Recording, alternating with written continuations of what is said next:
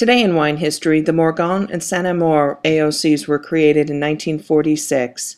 In Italy, the Bianco di Custoza DOC and the Colli Lanuvini DOC were created in 1971, and the Sella Peruta DOC was established in 2006.